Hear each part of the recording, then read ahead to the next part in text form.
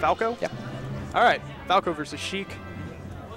Uh, Sheik has the power to gimp and combo and tech chase, so she's pretty mean when she gets her opening on Falco. Right. But Sheik is also at just just this beautiful weight for combos. She falls down into up tilt really nicely. And the way that Kirby Kaze plays her is, I mean, he's the best Sheik right now. I mean, That's my you, guess. you could argue maybe that Mew2King Sheik is a little better, but, that's, that's the thing Mewtwo. is, is that uh, Mew2King trains matchups with his characters. Uh, so he's one of the few people who can counterpick like eight different characters because he trains them specifically in certain matchups. Right. Okay, so here we're going right into the match. No uh, warm-ups whatsoever here.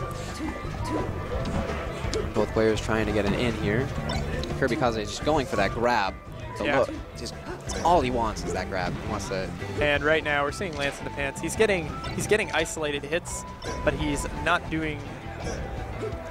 Ooh! My goodness! And I was about to say he wasn't doing a good job of converting them into combos, but he gets just a nasty series of Fox-esque up airs, He's sending Kirby Kaze off the level. This needs this, this guy needs the Fox question mark tag. does a good job of avoiding Kirby Kaze's. It was really Kirby Kaze's only actual edge guard setup, Yeah. and I think he really wanted it just because he fell behind so far initially. You know what? He won the neutral game in that in that And next he got, he got the grab he was looking for at the beginning. Except, well, looks like Lance and just broke right out of it. So.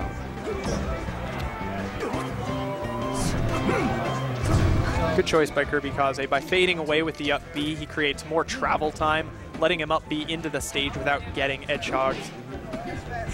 And he manages to basically just perfectly read that tech in place. Ooh! and he just just creates a big old staircase of moves. And Just pushes Lance in the pants up in the air and forward airs him off, setting up for the edge guard. He's asking for bonus points. Unfortunately, no, and he just gave Lance in the pants the Avenger KO bonus, so Yep. I don't So think that's going to work out the bonus points for that. Yeah, he just gave gave those points to Lance. Yeah. I thought I said that. Uh, you did. Sweet deal. And Kirby Kaze starting to demonstrate exactly why he's basically the best dedicated Sheik main currently that I know of. There's no hesitation right there on that tech chase. He instantly re- reacted to that missed tech and went for the up air rather than tried to stall out and wait for something like a back air or a down air tech chase. And Lance in the pants trying to dodge the edge guard. Forward B's just a tiny bit too low. Yeah, Kirby Kaze looked like he was having a bit of trouble getting his footing, but he just he just started winning basically every situation in the neutral game, making good decisions, good spacing, catching him out of the approach, putting him on his back foot, and then setting up combos, tech chases, and edge guards. That's just what should do. And he did it pretty well with very few flubs. Looks like Lance Lance, wants to run that back.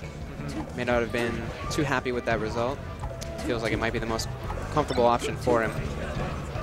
Yeah, a lot of Falcos just absolutely love the Yoshi story, uh, combo ability that they get, falling onto the platforms, being able to short hop all their aerials and clip just about everybody through. Little whiff on that wave landed to forward tilt, but Kirby Kaze picks it up anyhow. Yeah, Falcos love comboing here. They have the opportunity to gimp off the top of the stage, which not a lot of people have. And if it's Lance in the Pants' favorite stage against a great player like Kirby Kaze, he wants comfort factor.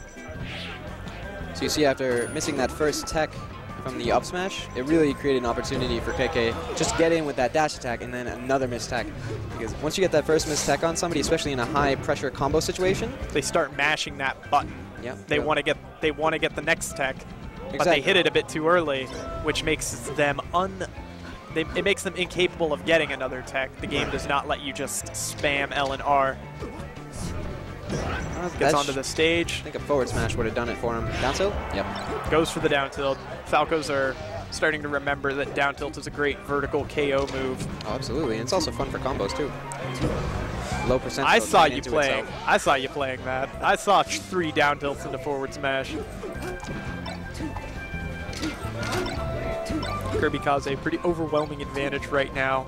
Gets a grab, setting up his tech chase. You see Lance, he was coming down from each, uh, he did two full hops and came down through the top platform. As soon as he landed, he jabbed. Both times he jabbed. And the first time KK didn't punish it. Second time KK was on the other side of him.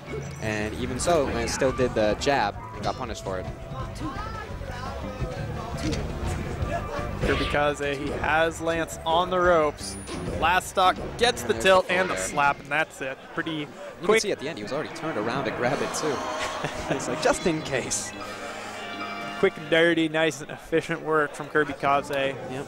Yeah, Lance in the Pants had a pretty sick combo. Want to give him some credit that That up air- riding that up air to victory without even using the shine off the top for the early KO. That was, was a little impressive. unorthodox and very pretty looking.